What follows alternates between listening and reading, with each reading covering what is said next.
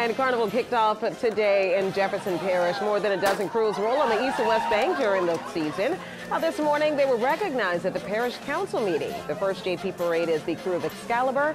It rolls Friday, February 2nd.